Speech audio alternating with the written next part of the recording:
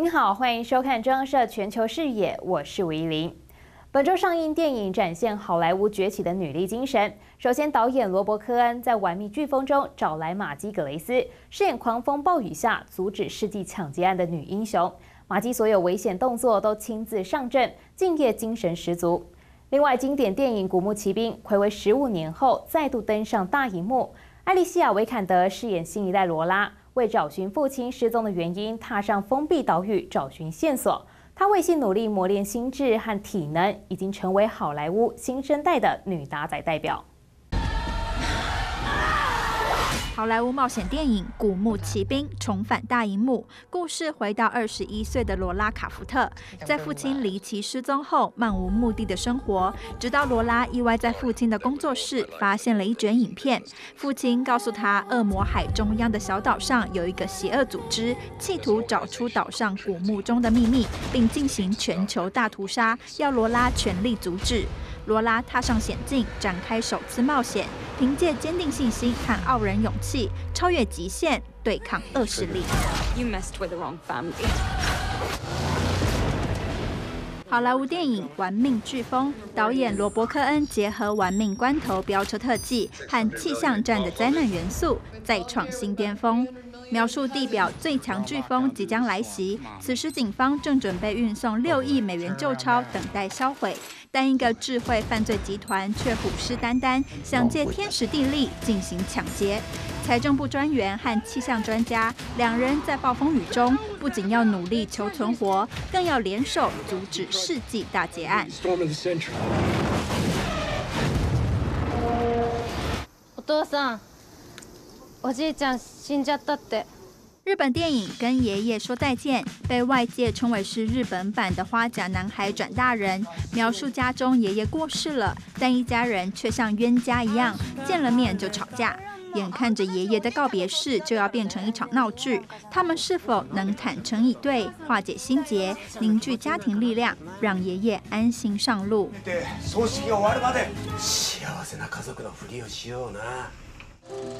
一部电影除了影像外，最重要的就是配乐。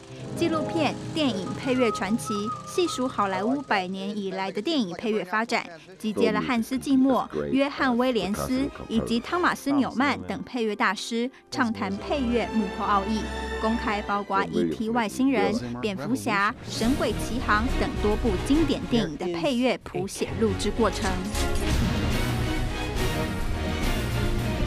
中央社综合报道。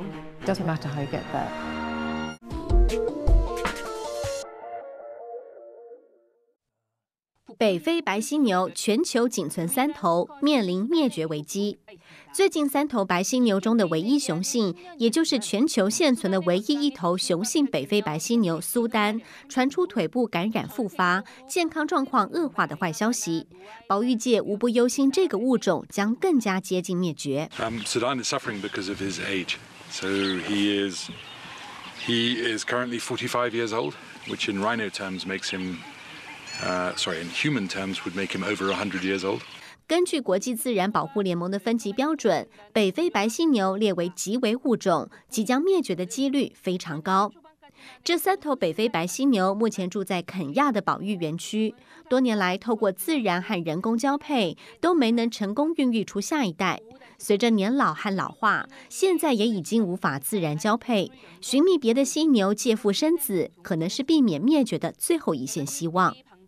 元芳去年就曾透过交友软体替苏丹征婚，以筹措相关基金，引发热议。现在年迈的苏丹健康状况恶化，使得延续物种的任务更加急迫。然而，实现的可能性却也更加渺茫。装设综合报道。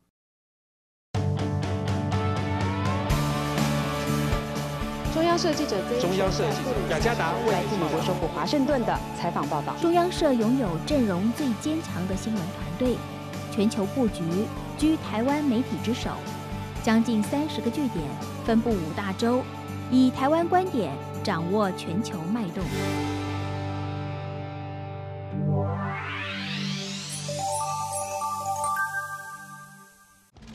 Good evening。南韩国家安保市长郑义荣才刚结束北韩行程，敲定四月底举行两韩高峰会，又宣布重大消息：美国总统川普和北韩领导人金正恩将在五月会面。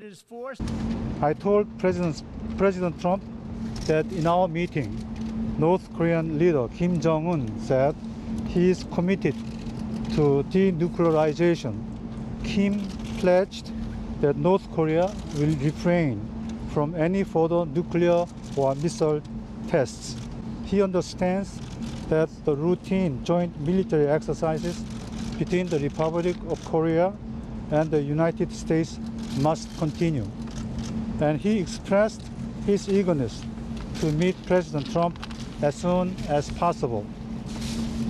President Trump appreciated the briefing and said he would meet Kim Jong un by May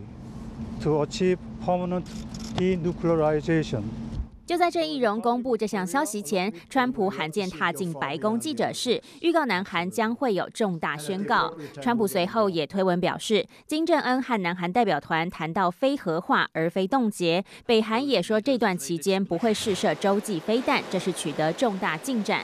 不过，川普也表示，直到达成协议前，制裁不会停止。中国大陆外长王毅稍早也谨慎地对相关突破表示欢迎，呼吁美国和北韩透过对话来接触，宁可早做也不要晚做。过去一年来，川普和金正恩相互飙骂，升高朝鲜半岛紧张情势。如今两人将会面，写下史上第一次美国现任总统和北韩领导人会面，也意味着北韩非核化终于出现曙光。不过，川普的幕僚小心翼翼看待。美国国务卿提勒森也认为。非核化谈判还有很长的路要走。中央社综合报道。